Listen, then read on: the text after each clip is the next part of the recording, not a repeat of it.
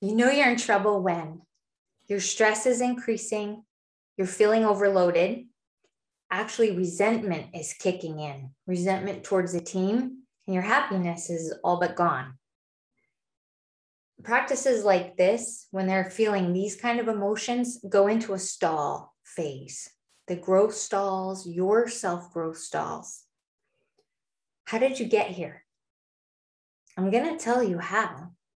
It's because you're so good. So, how does that make sense? You're so good at what you do, more keeps adding to your plate, more is expected of you. But here's the secret there's a capacity to how much you can physically do yourself. There are only so many patients you can see, only so many team members that you can work with. What happens is you hit your limit, you hit your capacity. Now, how others do it, business owners, is they learn two very, very important skill sets it's eliminating and delegating. I challenge you to take a few minutes and do an assessment, an honest assessment. Literally pay attention to everything you're touching in the practice. What's taking your time? Do a time study. Once you have a clear grasp of tasks versus accountabilities that you're working on, chart it out.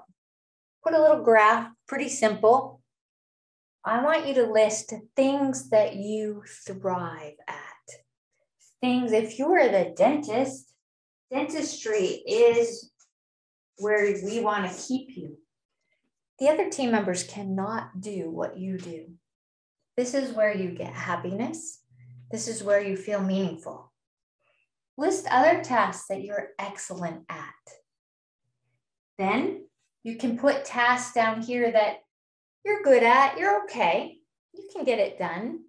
And then the things that you totally stink, just stink. For instance, maybe you're not getting any of your statements balanced. You haven't touched QuickBooks since the spring. Or you find that you're working on practice um, reports and day sheets. Stop, stop for a second. Could this be why you're feeling so much stress? Are you spending the bulk of your time down here in non productive tasks that could be outsourced?